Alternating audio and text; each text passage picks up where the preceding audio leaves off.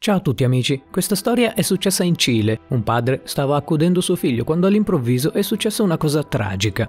Ma quando la storia venne raccontata tutti si commossero dicendo di non aver mai assistito a qualcosa di simile. Se siete pronti, partiamo.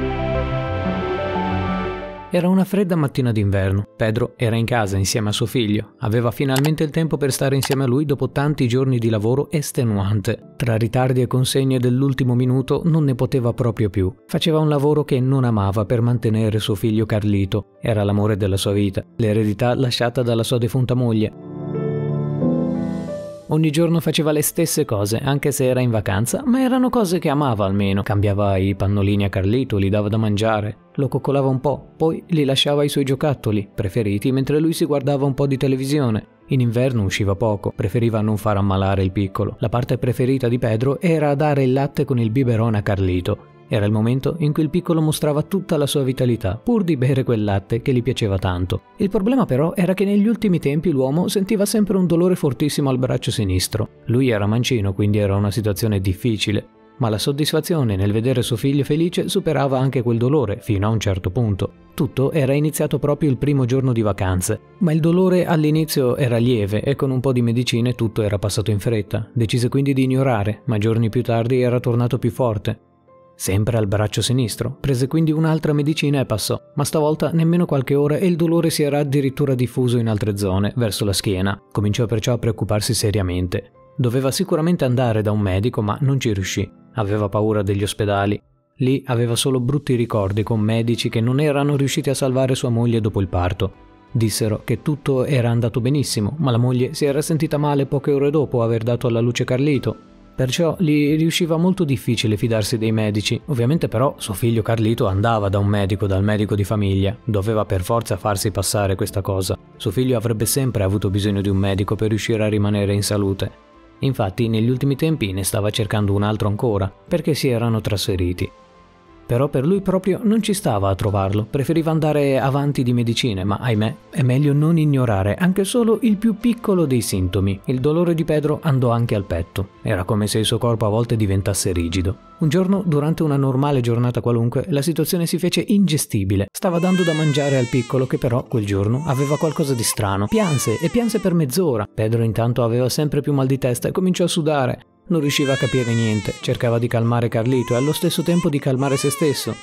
Ehi piccolo, avanti, non preoccuparti, papà è qua, continuava a dirgli, ma niente da fare. Prese così il cellulare e notò come le sue mani fossero diventate fredde. Cercò di comporre un numero per chiedere aiuto, ma cadde a terra, con il corpo in preda ad una paralisi parziale. Riusciva solo a muovere un braccio e una gamba. Non si rendeva conto che stava avendo un attacco di cuore. Non ce la fece più infine e si aggrappò alla culla per reggersi, ma rivoltò quest'ultima, facendo cadere anche Carlito. Fortunatamente cadde sul morbido e non si fece niente. Cominciò a piangere più forte di prima per cercare l'aiuto di suo padre, quest'ultimo. Dopo vari minuti però smise. Era come se avesse capito ormai che era inutile e che comunque era successo qualcosa.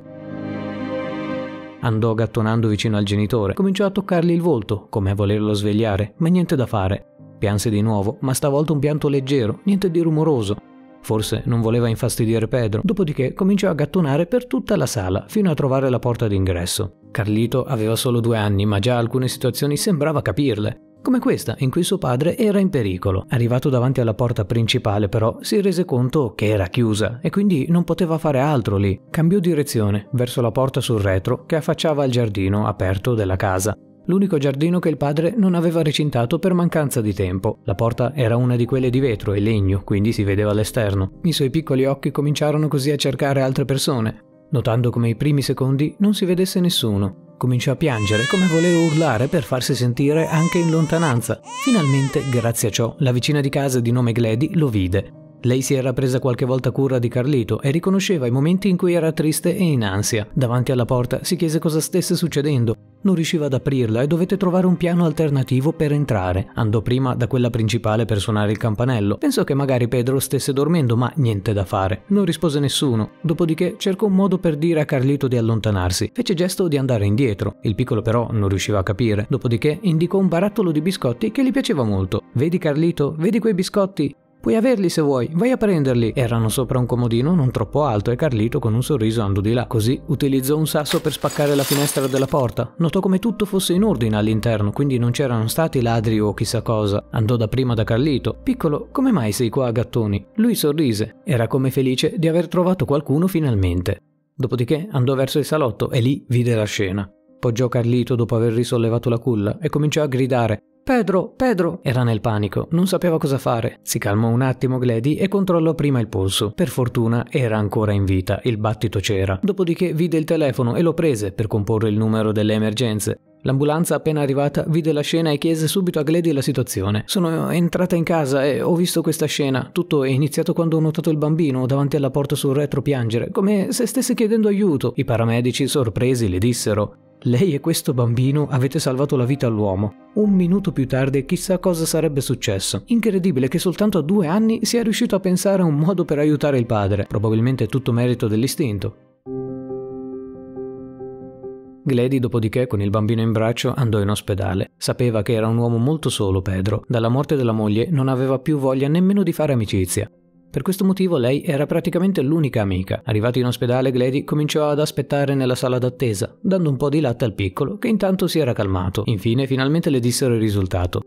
Erano settimane che a quanto pare il corpo di Pedro non era in salute, aveva lavorato troppo, sia fuori che in casa, aveva quindi avuto un infarto, lo avrebbero perciò tenuto alcuni giorni in osservazione. Il dottore poi controllò anche il piccolo per assicurarsi che non avesse subito lesioni dalla caduta, Signora, sembra che il bambino stia bene, per fortuna non è successo nulla. Ora, mi saprebbe dare un numero di telefono per avvertire anche la madre, o comunque un familiare? Glady con amarezza disse, io sa, sono la vicina, ma non ho il numero dei parenti, non so nemmeno se ne abbia.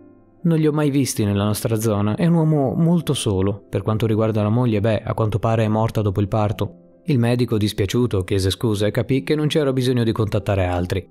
Sa, ho compreso, non c'è bisogno che contatti altre persone. Potrebbe farsi lei carico del piccolo, che ne dice? Non possiamo lasciarlo solo ora, altrimenti sarò costretto a chiamare gli assistenti sociali e quando entrano in gioco loro la situazione, beh, diventa complessa. Glady capì benissimo, non c'era bisogno di continuare oltre e non c'era bisogno che Pedro perdesse Carlito, perciò accettò l'offerta e lo portò in casa con sé. Il piccolo era triste e nei giorni seguenti fece fatica a mangiare. Sentiva chiaramente la mancanza del padre. Finalmente, dopo quei giorni, quest'ultimo si risvegliò. A quanto pare era in uno stato di coma temporaneo temporaneo. La prima cosa che fece fu chiamare suo figlio, ma non trovandolo lì andò nel panico. Dov'è? Dov'è? chiese per molto. Infine il medico gli disse che era con la vicina. Glady il giorno stesso lo portò in ospedale e Pedro si mise a piangere. Mi dispiace Carlito, sono, sono un padre orribile, vero? Si sentiva in colpa per tutta la situazione.